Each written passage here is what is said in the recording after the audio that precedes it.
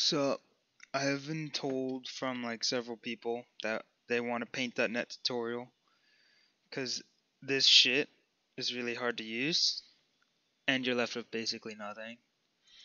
First, you have to actually get the thing. You go to paint get paint.net, download now, press that, free download now. There, right there. You're also going to want the BoltBait plugin.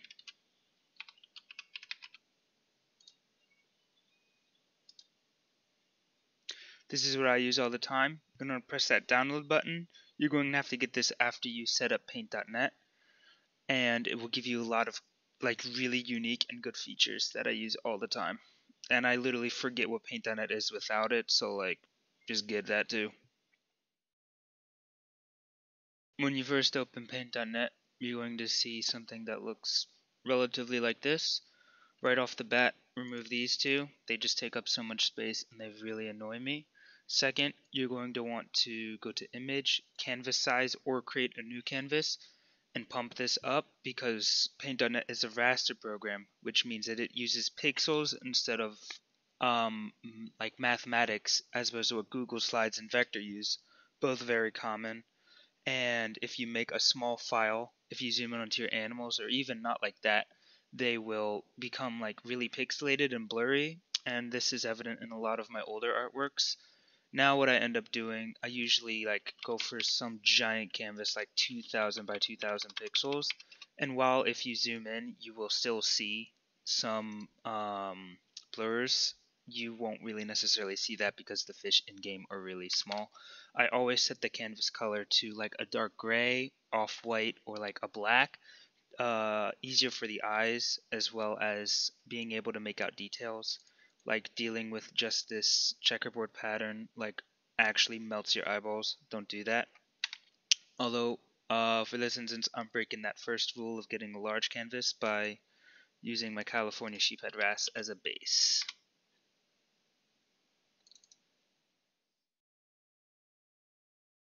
To start off, I'm going to need to start off with the rectangle. So right off the bat, thankfully has a rounded rectangle tool can stretch that out. I do not go all the way over as like this because then let's say I'm slightly off like this.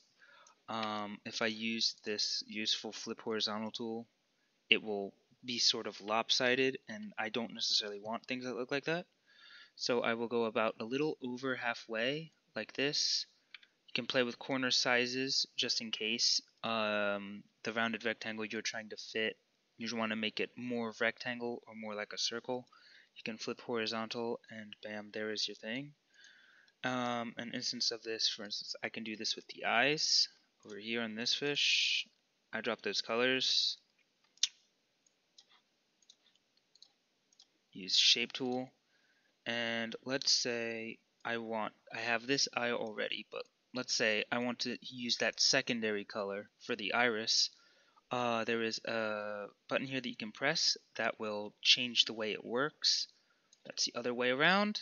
Perfect. And changing the brush width will change just how thin or thick that outer line is, like this.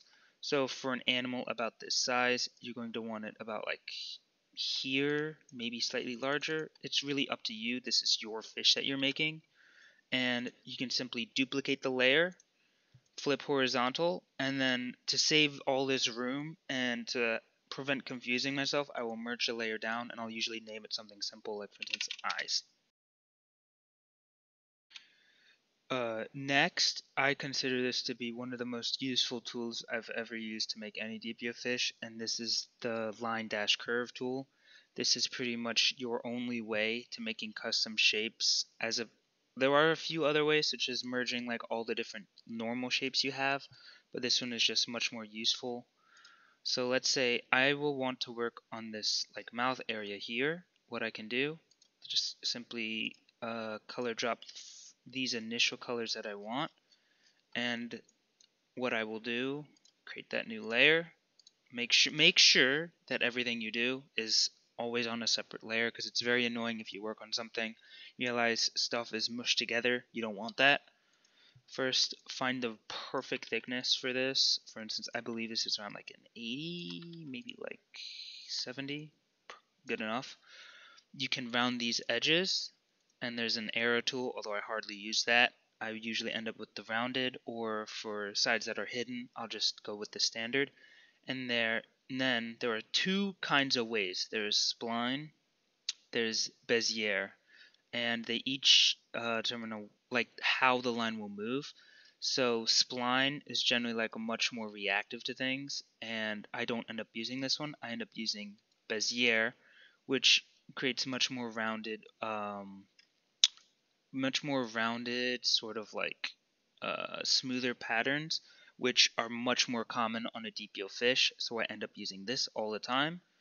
So let me reverse all this, go back to that basic line, switch to Bezier, and what I only want to do, I only want to go about halfway. And the reason why I go halfway is because simply next what I can do is use a rectangle select tool. I want to move the select pixels over, cut that, duplicate layer, flip horizontal, and bam, you have somewhat of a mouth.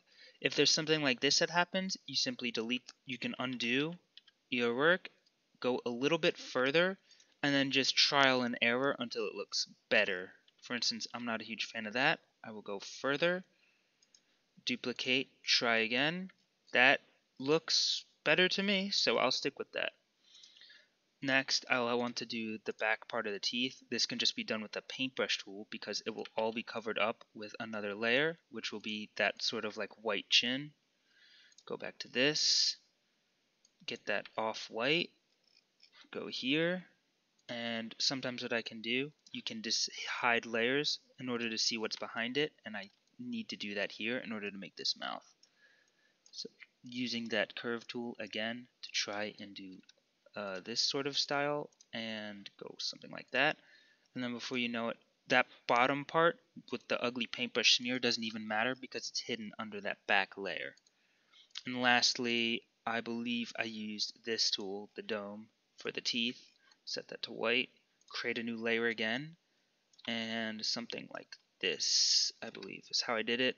Duplicate, flip, perfect. That is like 90% of all Deeeep.io art right there that just duplicate and flip just to make sure that it's symmetrical on both sides.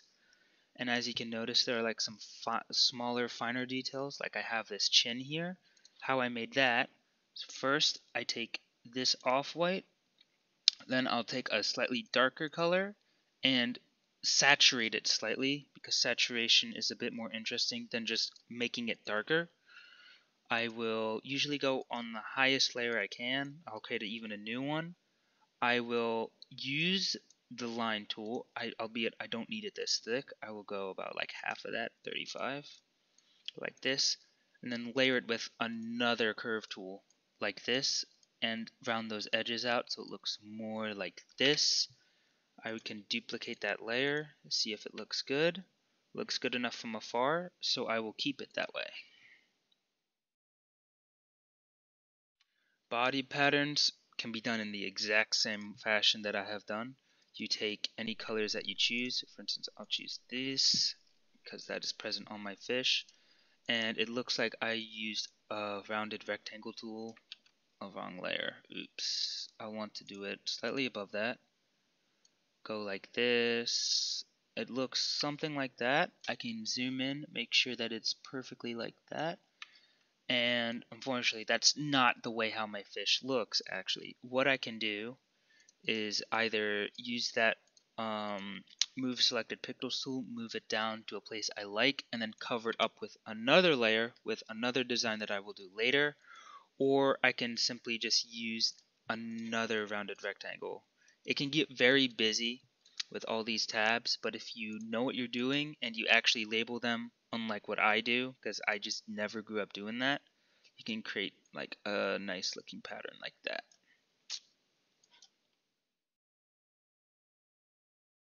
So how do I make some design like what you're seeing here? Use paintbrush tool.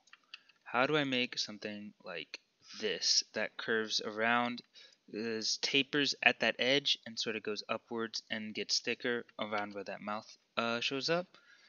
and it's all just about layers and using like that line tool that I showed earlier. What I can do is wrong layer. I can go to this, make that transparent so I can see what's under that. I will then choose those two colors on this here fish, or just two down. It was this and this color. So how I am work that, get that new layer, always really simple. You get that line tool. It's kind of hard to do that here because of the thing under. Curve it up like that, something like this. And what I can do is what I did here, I will take another one, also line it up and just do my best to make it look like it tapers and it's like a single one as best as I can while giving it something like that. Or what I could have done is go like this and cover it up like that and make a similar design. And like I showed before, for anything going off the edge like this, move selected pixels, go like that. Done, done, and done. There is part of that fish there. And for now, I can finish up the chin because that looks like something I could do really quick. Go here, find which layer it is in. Sometimes it can be very difficult if you're using with very small things. Go here, get that rounded rectangle going like this. Wait.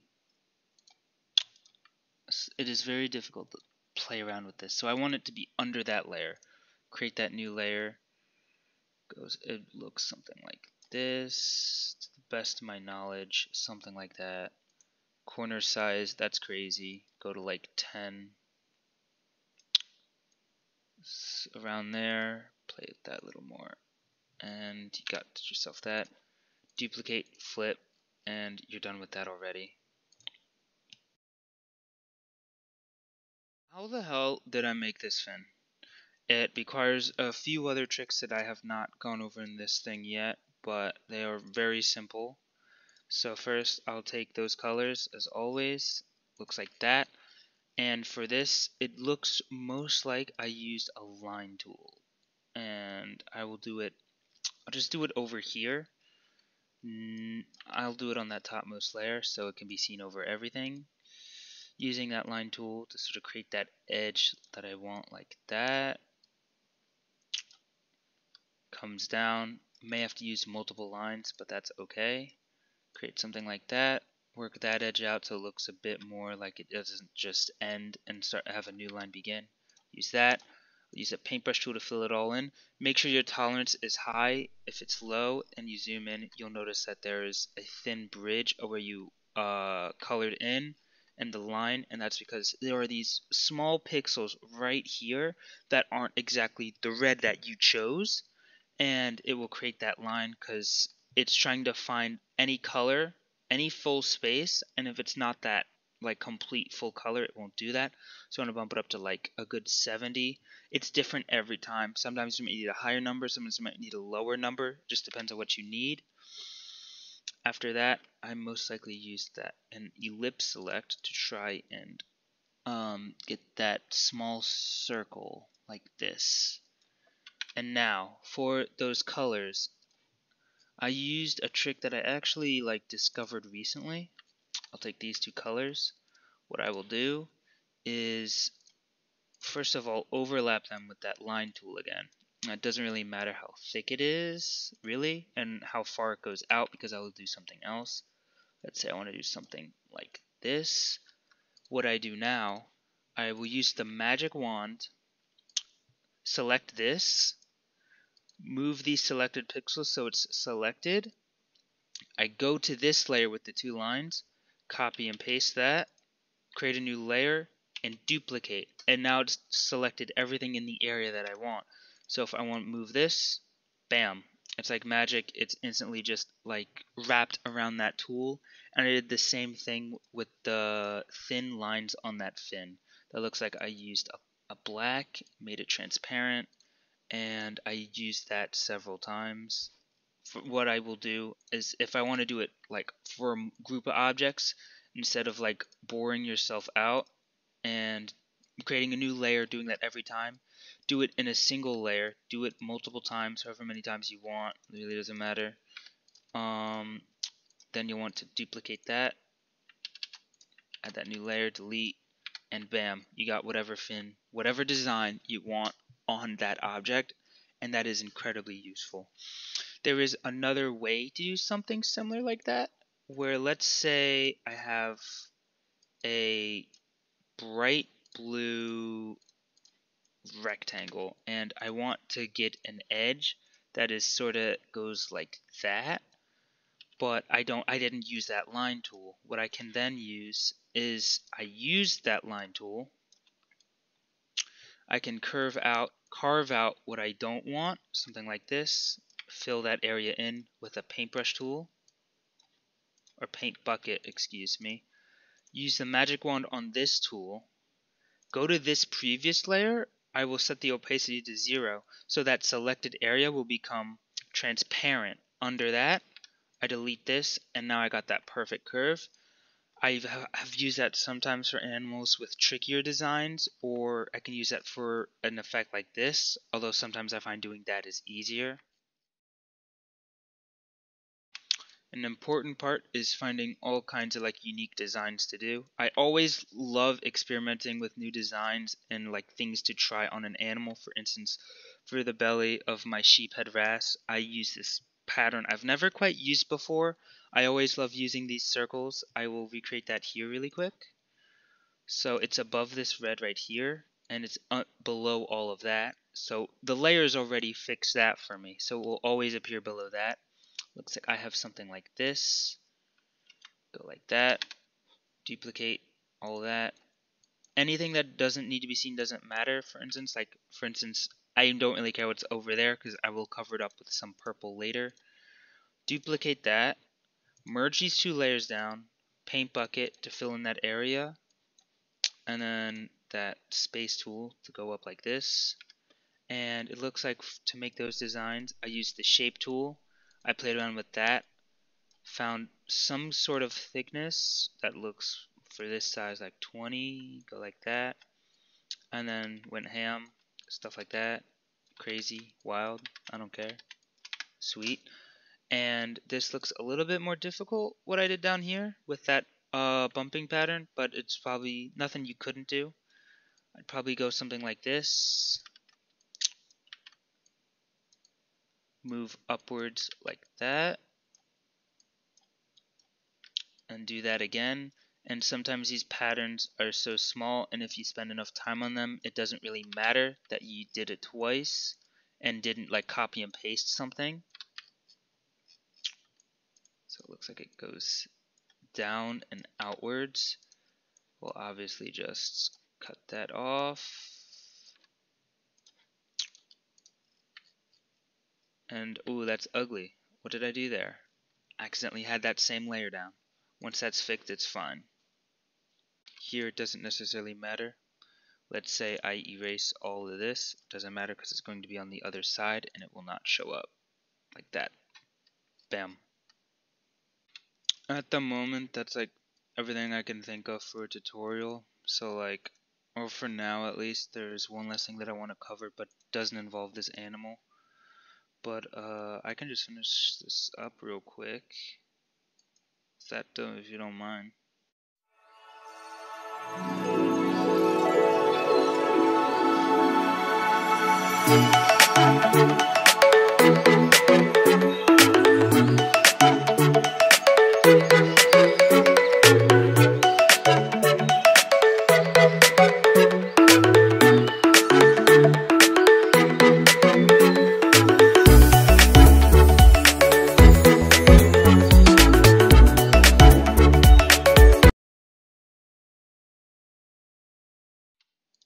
Next is uh, colors, yeah. Very important for any animal, and it's sort of tricky in Paint.net. Now the easiest thing, also you can also see how many layers I can have for like a single animal. Oh, this is one of the hardest animals I've made in a very long time. First, you want to delete that. You'll probably want to just merge all. First of all, you could just simply just merge all the layers, put a background against it just for a little bit of contrast, and then just play around with adjustments hue saturation. You can play with all kinds of things. I wouldn't necessarily recommend this because like it's sort of like unreliable. Like I made my Goonch catfish in the end brown, but if I moved it over to the brown, you notice it doesn't translate very well uh, compared to the brown that I chose. So undo all that. Normally how I go about changing things, I will go to that same thing, hue, dash saturation, and play around with a color until I like it. So let's say I don't want to make a brown one. I want to make that albino yellow goonch that I've seen like pictures of online. It's hype. Uh, I'll try my best to find a perfect shade. It's like that yellow. Actually, nah, that's bad. I'll choose a different color other than light blue. Let's use, let's make a navy, let's make a darker blue goonch catfish. That sounds sick. Now, what sucks about this program is because it got all these layers, you're going to have to change anything that you're going to want to do, want to be, to that like navy color, which is really unfortunate. So let's say uh, little whiskers. No, you have to specifically like find those things and change that color. For instance, I'll go through here, go through here. Um, it can be a very lengthy process. I'm gonna just speed it up a little bit.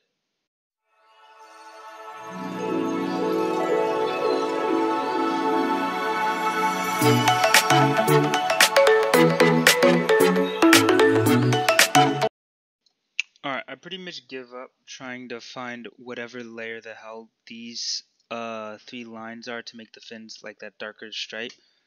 Doesn't matter the point, but the point is it is sort of difficult to change all the layers of a color. And even then, if you like mess up like for instance like this, not the end of the world, an option you can do is if you're changing colors after you've made an animal. Let's say I want to get that color of the goonch back. So let me type in goonch uh, find a paint.net file, go here, find whichever layer it is. Thankfully this time I actually saved it. I can use the lasso select, select all that I want back in that layer, and it will only save that layer. So if I copy and paste, bring it to this other canvas, go back to this, what is it called, gut, over here, bam, it's back to normal. And being able to choose colors that go well together is another important thing. Let's say instead of this off yellow, I feel like a good, more paler white would look better. But you don't want to go completely white because that can like blind somebody. But like a better, more, not quite there, quite not like all white, but an off white could be really good. And if I use that on all of the other things, I may not want to do the whiskers, but for instance, like the actual meat. And, um, where is that layer? God damn it. I'm so, somewhere here. But if I change, um, this right there to that white, as well as the fins I can do now, because I at least know where that is. Um, change that to that same white, it could end up like making a creature look so much better, which is really important because it's all about presentation in this game. Yeah, Harmony Guild can do whatever, but people really care about the art. And that is really all I have for this tutorial. I appreciate you watching and hope to see more people use Paint.net in the future. One final thing I almost uh, forgot about. Um, let's say another like sort of annoying thing about Paint.net. Let's say you want to make like a cool ass design like here. Like let's say I want to give it like a like a, let's say I want to give it like a smooch or something, and I want to give it like a little something like that. Yeah, because it's a very beautiful fish. I'm very proud of this animal. I give it a, a cute uh, smooch mark like that. Uh, let's say I want to make those lines thicker. I can't do that at all. Like there's no way to do that. So if you ever like make a design or something and you realize it's not the way you want, you gotta end up deleting the layer and then uh, trying again, which kind of sucks. But I mean that's life. It's not the end of the world, ever. And I mean, let me just finish doing this, and I'm uh, got my prized boy. I'll give him a couple more because I think it would like that, like that, or something like that. Yeah.